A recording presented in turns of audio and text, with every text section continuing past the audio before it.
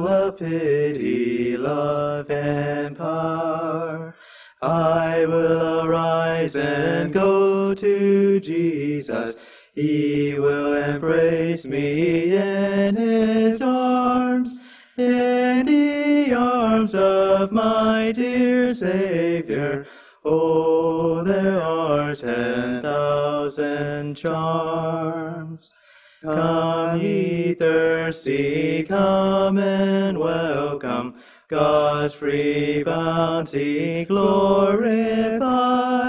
True belief and true repentance, every grace that brings you nigh.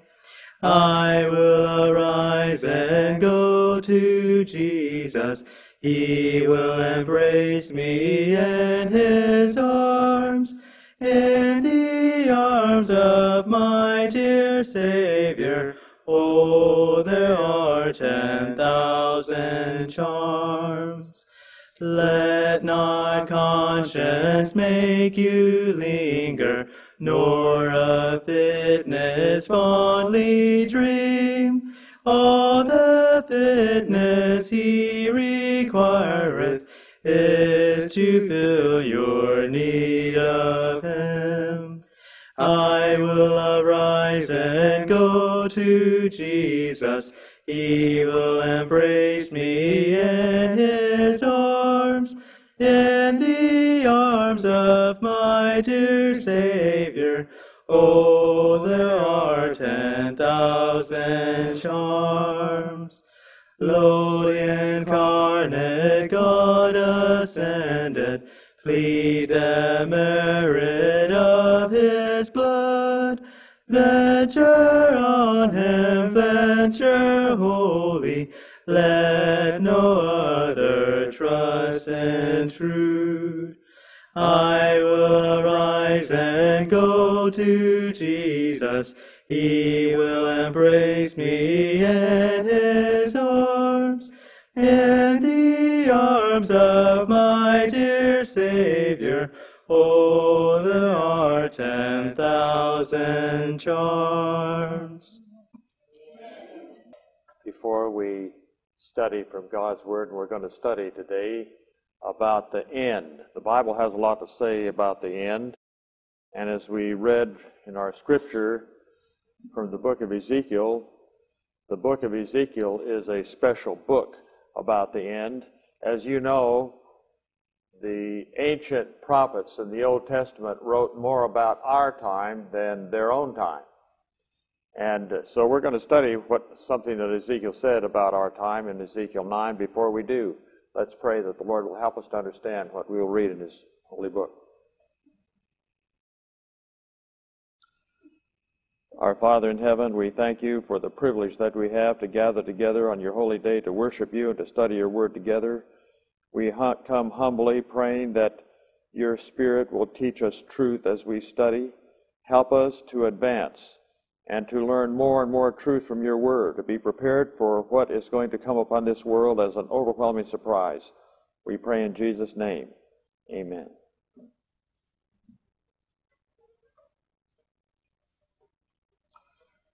As I mentioned, the book of Ezekiel is a special book about the end.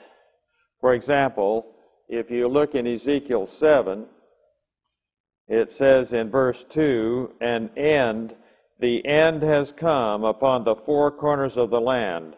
Now the end has come upon you. And he goes on to talk about what will happen, the judgments that will come at the end. Before we get into our study, in order to understand what we're going to study, you have to understand what the Bible teaches about the church. So we need to spend just a few minutes reviewing that. God takes you at your word. Do you believe that? The Bible is very, very clear that God takes people at their word. Look at a couple of texts where the Bible says this. Look in Luke 19. Luke 19, verse 22.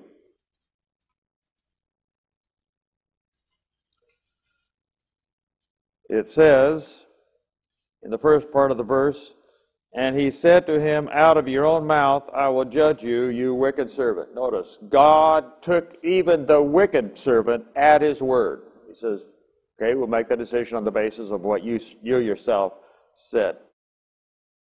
Look in Romans, the 10th chapter. Romans, the 10th chapter.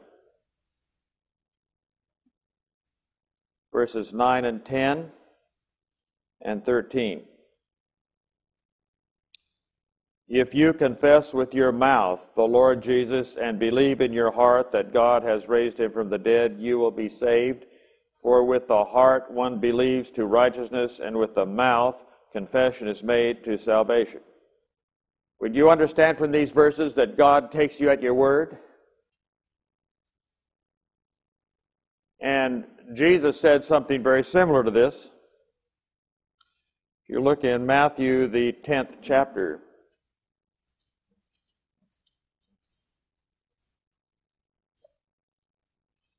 Matthew, the 10th chapter, verse 32. Therefore, whoever confesses me before men, him I will con- also confess before my Father who is in heaven. So, if you make a profession of faith, it is on the basis of your profession of faith that you are baptized. The preacher does not know your character, he does not know what's in your heart. He's just a man like you. So you are baptized on the basis of your profession of faith, because you made a you made a confession, a profession of faith, and then you become part of the church. You're called a Christian. Let's see what Paul said about that. Look in 2 Timothy.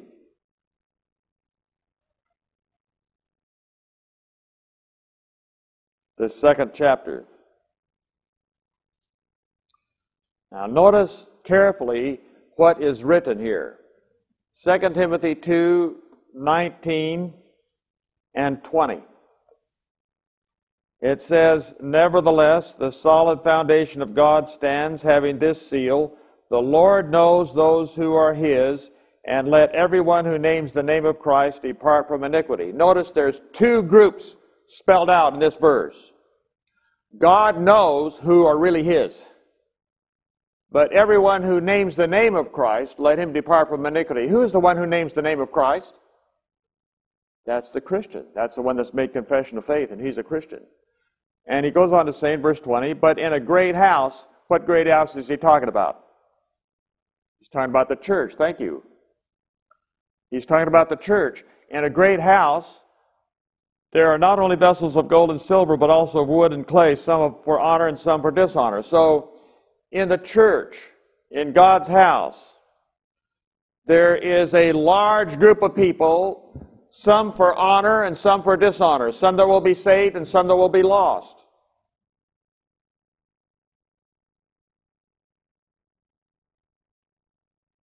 Some people don't like to hear that, but that's the truth. Some for dishonor, some for honor, some for dishonor. Now, the Lord knows the difference we just read in verse 19, he knows the ones that are really his. And so we see in this verse pointed out two groups in the church. There's the big group, that's everybody in the church that names the name of Christ. But within that group, the Lord knows who's those that are his. that's a smaller group. To try to differentiate this, sometimes I've called this the professed church. That's everybody that makes a profession. They're part of the professed church. But within that group, much smaller group, is the true church. Let's see a few verses in the Bible that point out the true church. The word church is used both to point out the professed church and sometimes in other verses to point out the true church. Let's look at a couple of verses that point out the true church. That's the smaller group, the ones that the Lord knows that they're His, that within the larger group. Look in Ephesians 5.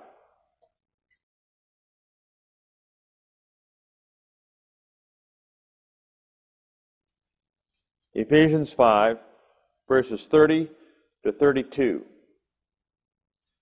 Now, I don't want you to offend you, but I do want you to understand what we're reading. And I want you to notice that he's talking about the sexual relationship of marriage in this passage. You have to understand that to understand what, what this verse is talking about. And so we're going to read the verse. For we are members of his body, of his flesh, and of his bones. For this reason, a man shall leave his father and mother and be joined to his wife, and the two shall become one flesh. This is a great mystery, but I speak concerning Christ and the church. He says, We're members of his body, of his flesh, of his bones. And then he quotes the next verse from Genesis, the second chapter, which is talking about the sexual relationship of marriage. And he says, That's what I'm really talking about is Christ and the church. Well, now, how in the world could that be? He says this is a great mystery. And I freely confess to you, I never would have figured it out, except Paul explains what this mystery is in another place. So if you turn to 1 Corinthians, the sixth chapter, he will explain what this mystery is. 1 Corinthians 6. Uh, he's talking about the sexual relationship again here. So read this passage in 1 Corinthians 6, starting with verse 15. Do you not know that your bodies are members of Christ? Shall I then take the members of Christ and make them members of a harlot? Certainly not. Or do you not know that he who is joined to a harlot is one body with her. For the two, he says, shall become one flesh. But he who is joined to the Lord is one spirit with him. Notice, he says, He that is joined to a harlot is one body with her. But he that is joined to the Lord is what? Uses the same verb, by the way. In the Greek, it's the same verb. He that is joined to the harlot is one body with her, but he that is joined to the Lord is what? One spirit with him.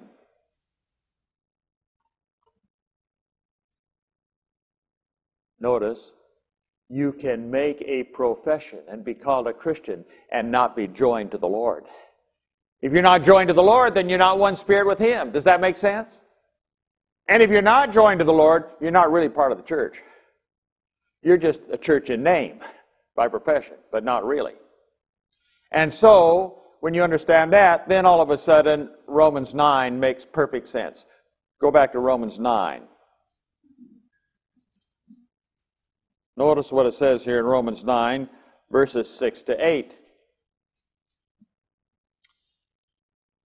It is not that the word of God has taken no effect, for they are not all Israel who are of Israel. What's he talking about?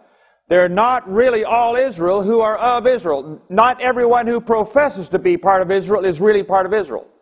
Notice what he continues to say.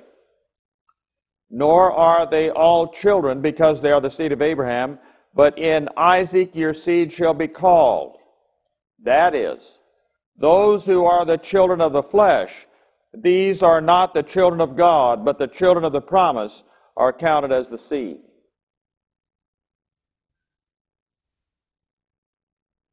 Jesus had this trouble. John the Baptist had this trouble.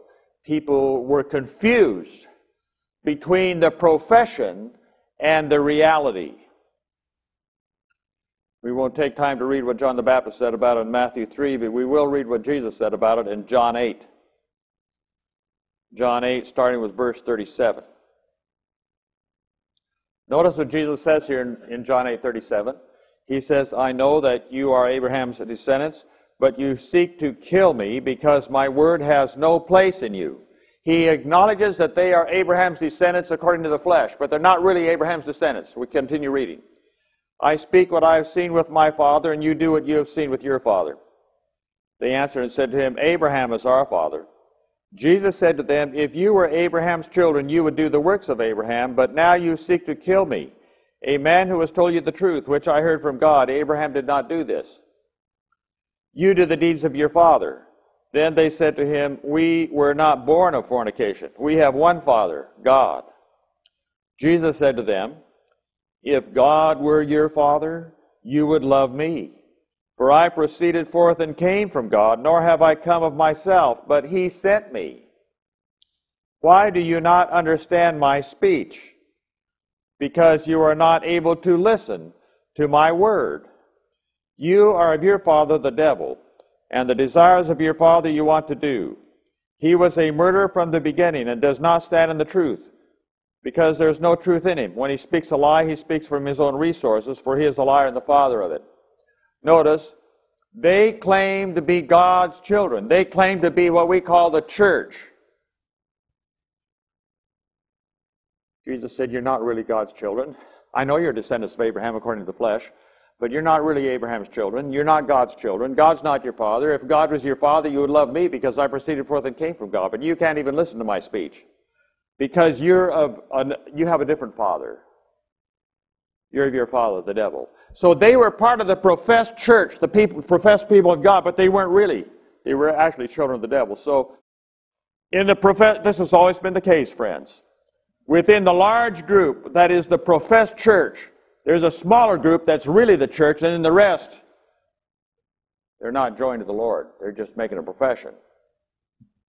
It is absolutely vital to understand this concept, to understand Bible prophecy in regard to the end times. And the prophet Ezekiel had a vision that we're going to study in Ezekiel 9 about the end times. And remember now, there's two groups in the church. There's the big group. Everybody in the church makes a profession. But there's a, a, smaller group, a much smaller group, that are the real, the real people of God within. And if you are a Christian, you belong to one of those two groups. Now let's go to the book of Ezekiel, chapter 9. And before we get started in the chapter, let's notice when, what the time is. What the time is. By the way, if there are people here and you have the nine volume set of testimonies for the church by Ellen White, and you want to read about an explanation of this vision in Ezekiel 9, it's found on pages about 208, 209 to 216 or 217. That, that she has a chapter there about this vision. When's the time? Look, notice when it is in verse 3 it says, this is Ezekiel 9 3. Now the glory of the God of Israel had gone up from the cherub where it had been to the threshold of the temple. Notice what is going on here. Let's do a little review quickly for a minute or two. Where is our Lord and Savior Jesus Christ right now? He is in his temple, in the place that is called the Holy of Holies, or the most holy place, it is also called, or it's also called the inner compartment. It's also called the second apartment. That's, that's the room, by the way, where in the first tabernacle, the ark of God was placed, and within it were the Ten Commandments written on stone. That is the, and on top of that, by the way, mustn't forget this, there was a something that we call, that is called in the Bible, the mercy seat. That's where blood was sprinkled to make atonement for sin. That is where Jesus Christ is right now. But now, this is just a quick review. What is Jesus going to do pretty soon? He's going to leave there. He's going to leave, and he's going to come back here. You all know that. Jesus is going to leave the sanctuary in heaven and he is going to come back to this earth. Now, notice the timing of when this is in Ezekiel 9. In verse 3, it says, The glory of the God of Israel had gone up from the cherub where it had been to the threshold of the temple. What is happening here? Jesus is about to leave. He isn't gone yet, but he is about to leave the sanctuary in heaven and come back to this earth. And at this time, when Jesus is about to leave, all of a sudden, listen carefully, all of a sudden, the attitude of heaven, of the government of God toward this world is going to change.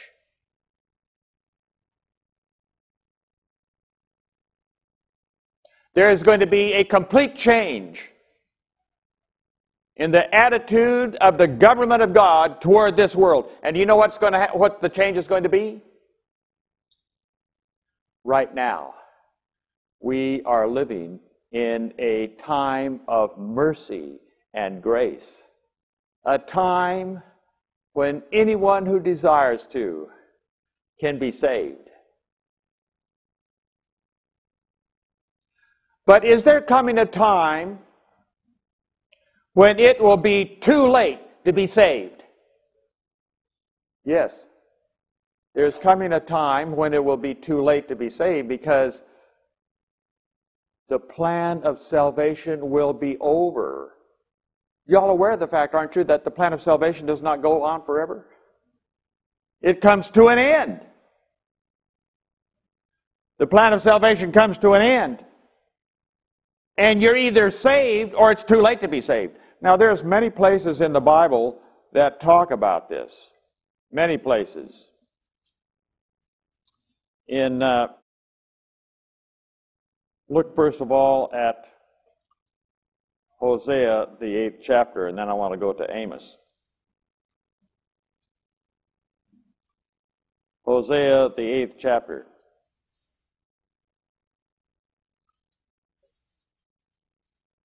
It says in verse 12, I have written for him the great things of my law, but they were considered a strange thing. It says in verse 14, Israel has forgotten his maker and has built temples. Judah also has multiplied fortified cities, but I will send fire upon his cities, and it shall devour his palaces. So, we didn't read Hosea 4:17 where they said Ephraim's gone too far. They just have you just have to let them alone. Now, in Amos, he talks about this same period. In Amos, the eighth chapter, notice what he says about it. It says in verse 11 and 12, Amos 8, Behold, the days are coming, says the Lord God, that I will send a famine on the land, not a famine of bread, nor a thirst for water, but of hearing the words of the Lord. They shall wander from sea to sea, and from north to east they shall run to and fro, seeking the word of the Lord, but shall not find it. Why don't they find it? Because the plan of salvation is over.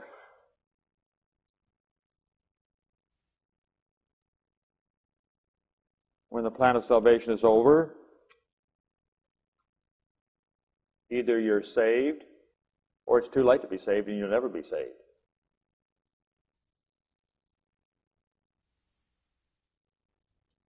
So that is the setting of Ezekiel, the ninth chapter. It's when Jesus is about to leave. the sanctuary. Remember, Peter said, There's no other name under heaven by which we can be saved. There's nobody else that can forgive your sins.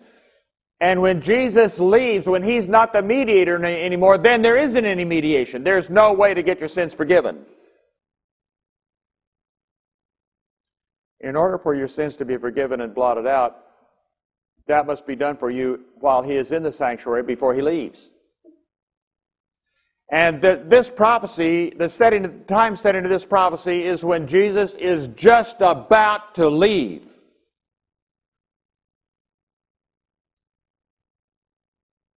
We're right at the end of the day of grace. And notice what it says is going to happen as Jesus is about to leave. It says here, last part of verse 3 He called to the man clothed with linen who had the writer's inkhorn at his side. And the Lord said to him, Go through the midst of the city, through the midst of Jerusalem, and put a mark on the foreheads of the men who sigh and cry over all the abominations that are done within it. Notice, Jerusalem is the professed church. That's everybody that names the name of Christ. Says, I'm part of his remnant people. That's who Jerusalem is. But within Jerusalem, evidently, there is a much smaller group. And the Lord says this man now, you're to go and you're to place a mark on these certain people. And uh, the people that you're to place a mark on are the people that are sighing and crying over all the abominations that are done in it. Evidently, there's some terrible things going on in the church at this time. And then Verse 5, it says, To the others he said in my hearing, Go after him through the city and kill. Notice the plan of salvation is going to be over now. Do not let your eyes spare nor have any pity. Utterly slay old and young, men, maidens, and little children and women. But do not come near anyone on whom is the mark. And begin at my sanctuary. So they began with the elders who were before the temple. Now, we can know from the context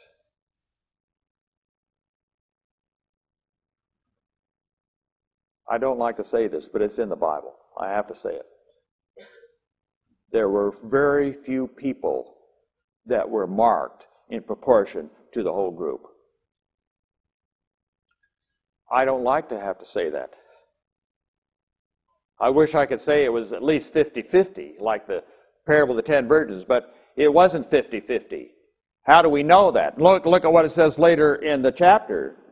Look at verses 7 to 9, or 7 and 8. It says, Then he said to them, Defile the temple and fill the courts with the slain. Go out. And they went out and killed in the city. So it was that while they were killing them, I was left alone, and I fell on my face and cried out and said, Ah! Lord God, will you destroy all the remnant of Israel and pouring out your fury on Jerusalem? What is the connotation of verse 8? In the context of verse 8, there's not very many people, evidently, that were marked in proportion to the whole group. Not very many people got the mark. If you got the mark, you're secure. By the way, if, if, there's somebody here that has not studied this subject before, let me just mention this quickly and you can study it out on your own. The mark that he's talking about is what John the Revelator calls in Revelation 7 the seal of God. That's the mark he's talking about. The seal of God. John the Revelator talks about that in Revelation 7. That's the mark he's talking about.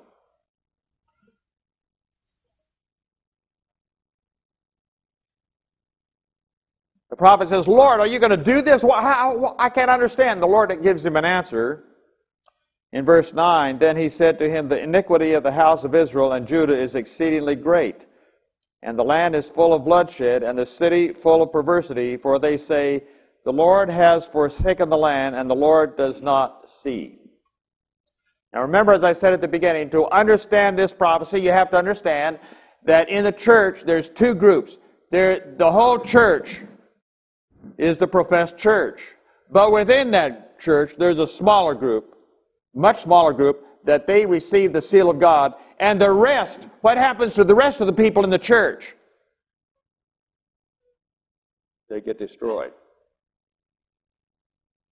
So, let's spend a few minutes studying, first of all, about who are the people in this large group that they don't, they're not marked, so they get destroyed. In this passage in uh, volume 5, page 208, to 215, I went through there and uh, I started marking the characteristics of the people that don't receive the mark. And when I marked it down, I marked about 14 or 15. Here's the character. The reason we need to study this is if you make a profession of faith, you will be in one or the other of these two groups. You'll either be marked or you will not be marked. Now, when you think about it, is it possible for you to endure the agony of thinking that the one who puts the mark of salvation, the mark of deliverance, would pass you by? Isn't that about the most awful thing you can think of? Well, we need to study the two groups so that we see that we're in the right group. So here's, we're going to look at, first of all, at the group that is passed by. This is page 210. This big group, the members of this group are doing after the manner of the world. They're doing after the manner of the world. Now, we've been cautioned about this. Turn in your Bible to Romans 12 verse 2 says, Do not be conformed to this world, but be transformed by the renewing of your mind, that you may prove what is that good and acceptable and perfect will of God. Do not be conformed to the world. Do not become like the world.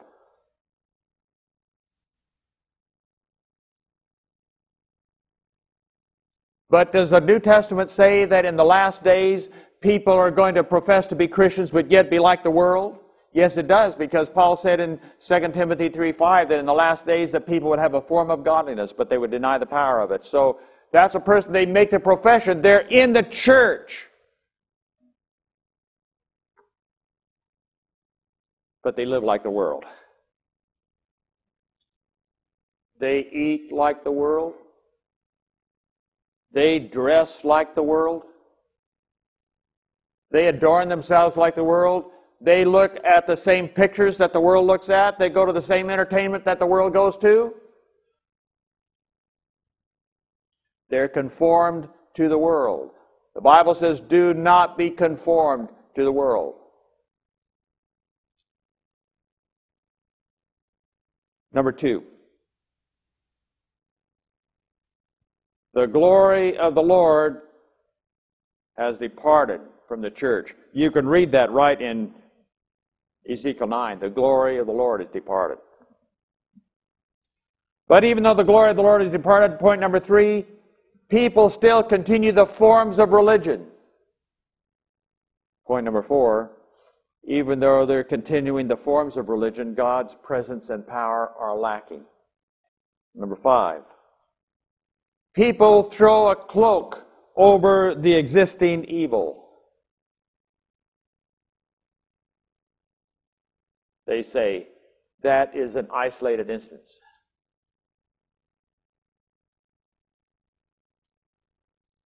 Number six, they excuse the great wickedness everywhere present. And then, religion is despised in the very homes of those who have had great light.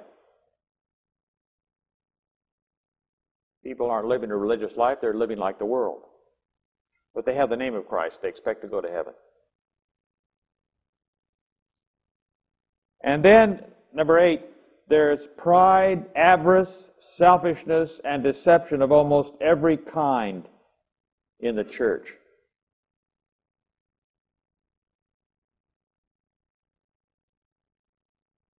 Number nine, the leaders in the church have betrayed their trust. I'll read that. It's page 211, line 5. Here we see that the church, the Lord's sanctuary, was the first to feel the stroke of the wrath of God. The ancient men, those to whom God had given great light and who had stood as guardians of the spiritual interests of the people, had betrayed their trust. They had taken the position that we need not look for miracles and the marked manifestation of God's power as in former days. Times have changed. These words strengthen their unbelief. And they give the cry, peace and safety. Don't worry about the time of trouble that's coming. God will protect you and everything will be all right. Don't worry about it. And so they don't lift up their voice like a trumpet to tell God's people about their transgressions and their sins. But then, Ellen White says that by far the worst sins in the church at this time, do you know what by far the worst sins are? By far the worst sins that are in the church at this time are those that you and I cannot see, but God can see. She says, by far the worst sins, those which provoked the jealousy of a pure and holy God, were unrevealed. But the great searcher of hearts knows every sin committed in secret by the workers of iniquity. And so, the time is going to come. We don't know when or how. But it will almost for sure happen all of a sudden. That people, church leaders that were considered to be holy, righteous men that were going to lead the church into the kingdom of God, will be demonstrated to be ringleaders in apostasy. This is the way she describes it. It says, Those who have been regarded as worthy and righteous prove to be ringleaders in apostasy and examples in indifference and in the abuse of God's mercies. Now, these people knew the truth. It's very important to understand, friends, that it is not enough to have an intellectual knowledge of the truth. The truth has to become a part of my life. Let's read that in the Bible. Look in 1 Peter 1.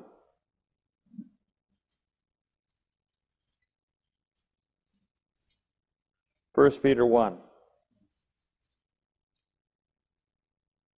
verses 22 and 23. It says, Since you have purified your souls in obeying the truth, through the Spirit in sincere love of the brethren, love one another fervently with a pure heart, having been born again, not of corruptible seed, but incorruptible, through the Word of God, which lives and abides forever. Notice, you are purified not because you know the truth, but because you obey the truth. In other words, you live it out.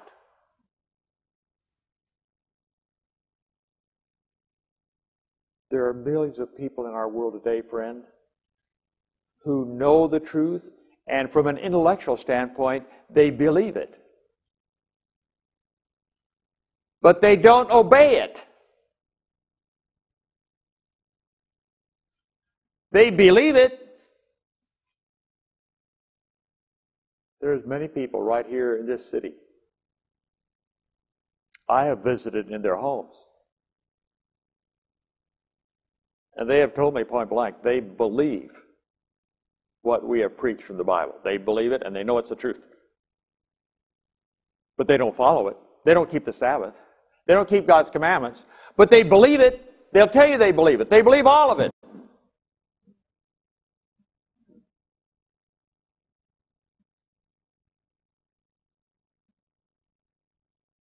not only do they believe, and this is scary if you're a person who is a deacon or an elder or a teacher or a preacher. It is possible to believe in the truth enough so that you preach it and teach it and still lose your soul. I better read that from the Bible. I don't want anybody to think we're making anything up. Look in 1 Corinthians, the ninth chapter.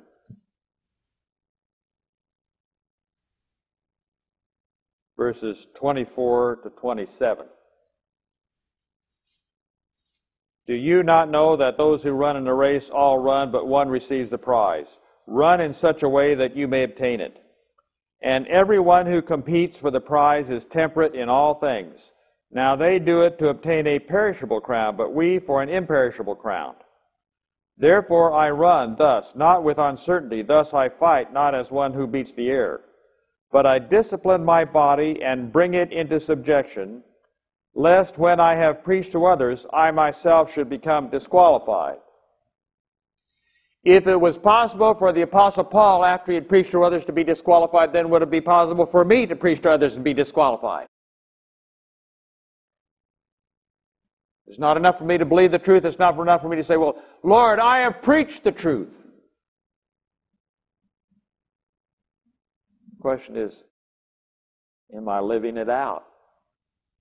In comment on this, Ellen White wrote, Not all who profess to keep the Sabbath will be sealed there are many, even among those who teach the truth to others. Here's somebody that's preaching. They're teaching the truth to others. Others people are being saved because of what they're teaching them and showing them. They will not receive the seal of God on their foreheads. Who will not receive the seal of God on their foreheads? They had the light of truth. They knew their master's will. They understood every point of our faith but they had not corresponding works. they knew it, they knew the truth. She says they knew every point of our faith. You could give them a quiz and they would pass it 100%.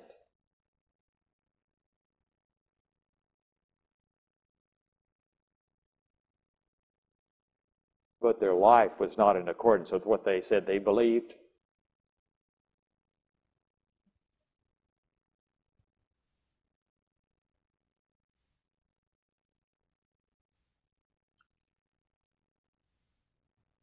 What happens that a person can know all this and still their life is not in harmony with what they know, with what they believe? How can that happen? Well, here's how it happens.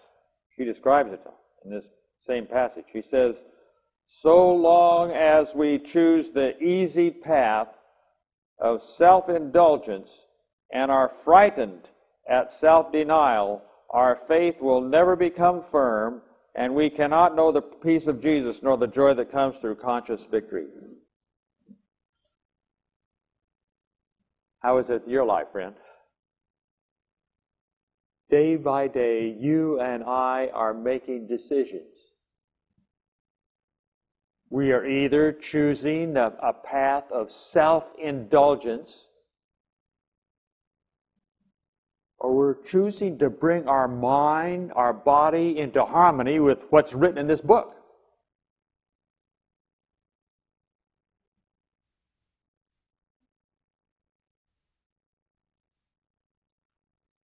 Sometimes we are tempted to make excuses and to say, well,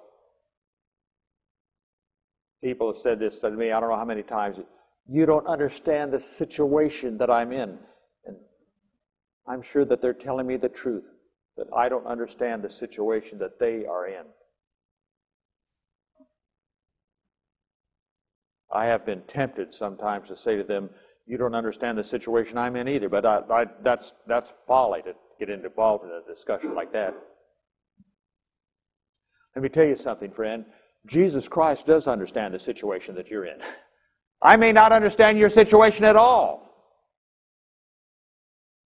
But Jesus Christ does understand exactly what situation you're in. And if you choose to follow him, He will give you the grace to follow Him, whatever your situation. Let's read that in the Bible. First of all, maybe there's somebody here and the devil's tempting you to think, well, there, I'm so bad that there's no way I can get out of this situation. That's not true. Let me read it to you. In John 6 37. The one who comes to me, I will by no means cast out. That's the last part of the verse, John 6 37. If you come to Jesus, he will not cast you out. Not only will he not cast you out, notice what he will do for you. 2 Corinthians 12. 2 Corinthians 12, 9. He said to me, My grace is sufficient for you, for my strength is made perfect in weakness. However weak you are, however sinful you are, however much trouble you're in, that, that I may not understand all about that, but the Lord does understand. And he said, I have enough help for you. There's a text in the Old Testament, we'll look it up right now in Psalms, says, Help has been laid upon one that is mighty. And in Hebrews, the 13th chapter, Hebrews, the 13th chapter, it says, verses 5 and 6 Let your conduct be without covetousness, and be content with such things as you have, for he himself has said, I will never leave you nor forsake you. So we may boldly say, The Lord is my helper. I will not fear what man do, can do to me. God has promised to help you. If you commit your life to Him, He will give you all the help that you need. He said to Paul, My grace is sufficient for you. In other words, there's enough. I have enough help. So we cannot say, nobody can say and tell the truth that my case is hopeless. No, that's not true. Your case is not hopeless. My case is not hopeless. We cannot say that we cannot live the life of a Christian because there has been ample provision made for each one of us through the death of Christ on the cross of Calvary. And Jesus has promised to be an ever present help in time of need. You can read it in Nahum 1. We read it in Hebrews 13. You can read it in 2 Corinthians 12. What we need is to have faith to disconnect from our union with the world.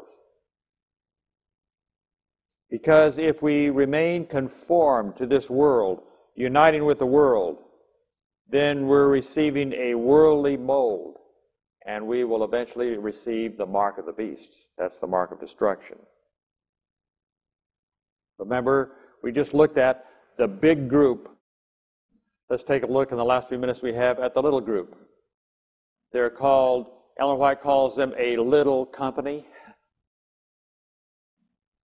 A little company within the much bigger group.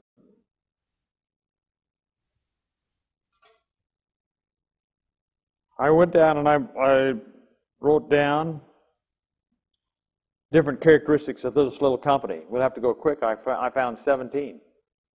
Here they are. Number one, there is a little company. This is the little company that they get marked. That's the seal of God. If, if you're marked, you're safe. Now, you won't know that you're safe except by faith. But if you're marked, you'll be safe.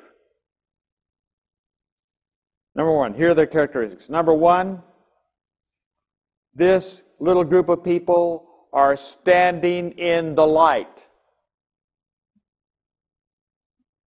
Now, what does it mean to be standing in the light? Jesus, of course, said, I am the light of the world. That's John 8 12.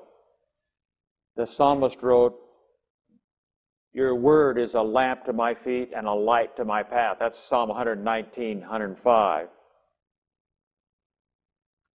Isaiah wrote that if, it, if a spirit does not teach according to the law and the testimony, there's no light in that spirit.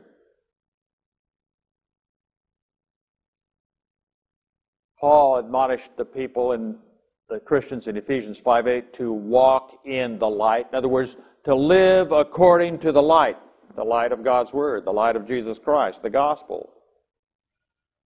And 2 Peter, in 2 Peter 1, he writes about the light. 2 Peter 1.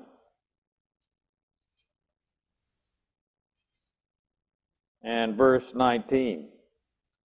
Says, We also have the prophetic word made more sure, which you do well to heed as a light that shines in a dark place until the day dawns, dawns and the morning star rises in your hearts. So the little company is standing in the light. In other words, they're living in harmony with the Word of God. You remember the story of Zachariah and Elizabeth, the parents of John the Baptist, it says in Luke, the first chapter, that they were walking in all the ordinances and commandments of the Lord blameless. They were living according to what was written.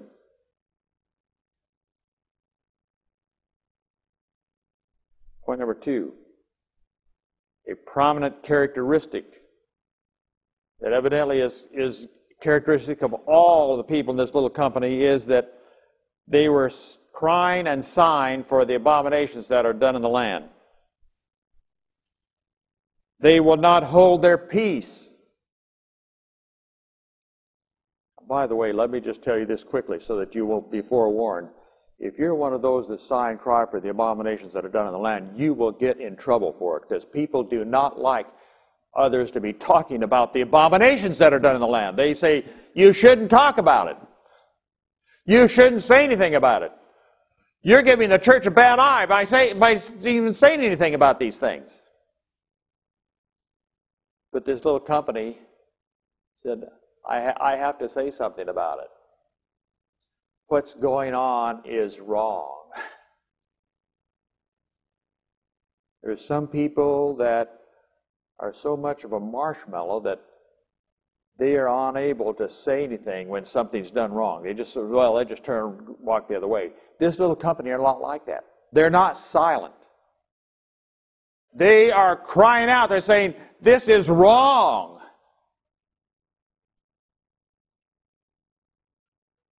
We're living in a generation, friends, when people have forgotten how to speak up in defense of the right and how to say something is wrong. So that the world has forgotten what sin is. And if that isn't bad enough, there are people in the church that have forgotten what sin is and don't understand what sin is. And so everything, you're not supposed to do anything that's not politically correct. You're not supposed to say anything.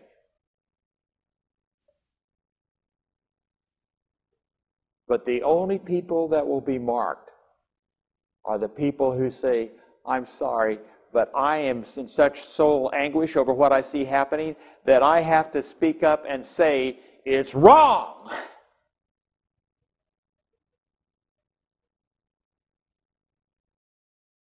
And actually, as I have thought about this,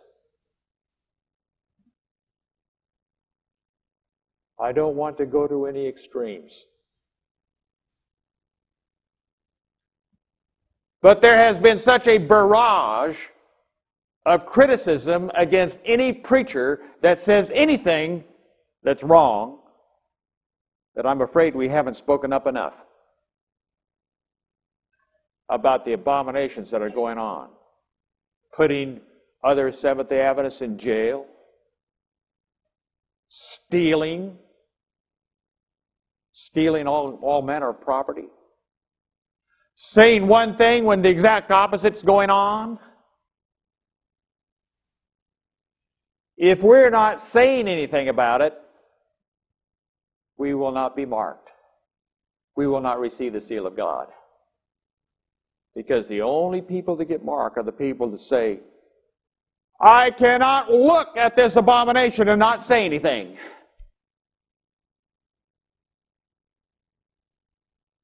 Study for yourself. Read Ezekiel 9 yourself. I suppose you're all aware of the fact that Ellen White says that Ezekiel 9 will be fulfilled, literally fulfilled.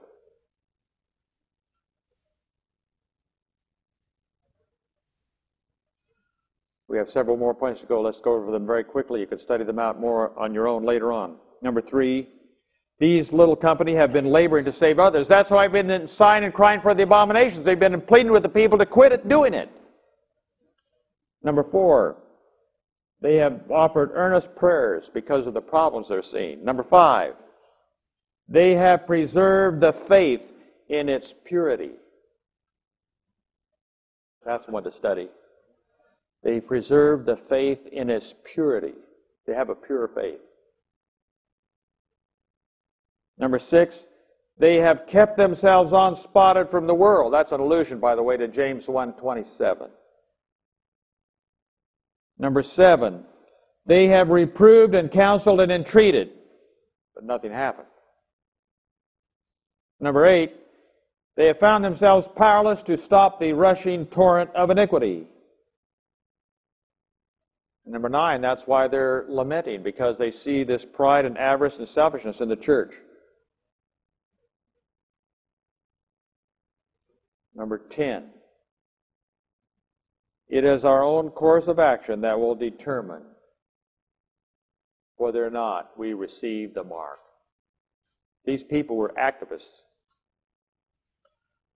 Number 11.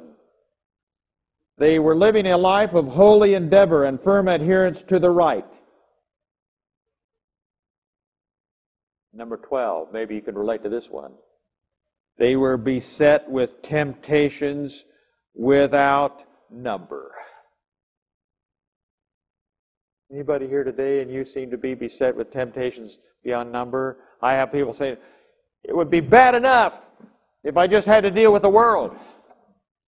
But now I have to deal with these problems in the church, and then I have to deal with these problems in my own family, and temptations without number.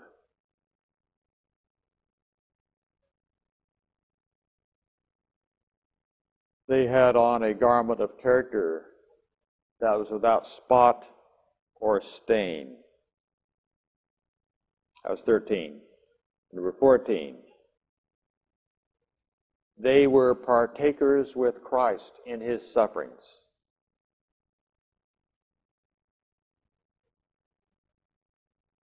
And by the power of Christ that they claimed by faith, by faith, they obtained a victory over pride, passion, and spiritual slothfulness. In other words, they washed their robes of character and made them white in the blood of the Lamb. And remember, friend, nobody's case is hopeless. It's your decision that makes the difference.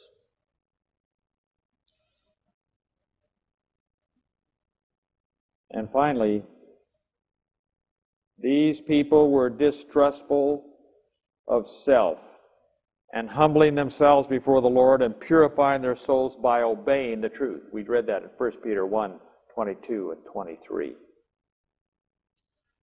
My dear friend, the people mentioned in Ezekiel 9 with the slaughtering weapons haven't gone out yet.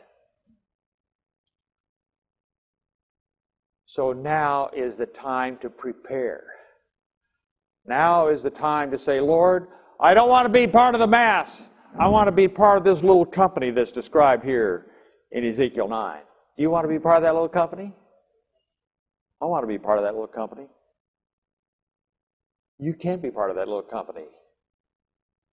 Remember, friends, nobody will receive the seal of God who is living an impure life, who is proud, covetous, love of the world, who's a liar, who deceitful. Those are all the things that have to be overcome. But you can overcome. If you claim the power of Christ and ask Him to come into your life by His Holy Spirit and give you the power to live a new life, cleanse you, and make you free. Let's pray that we'll have that experience before we sing our closing song.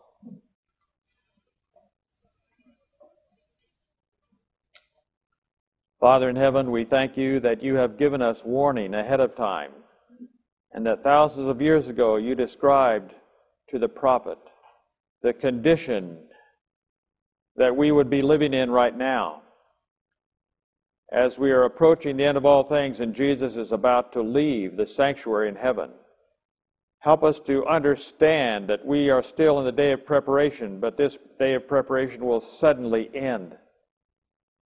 And we will either be marked or unmarked.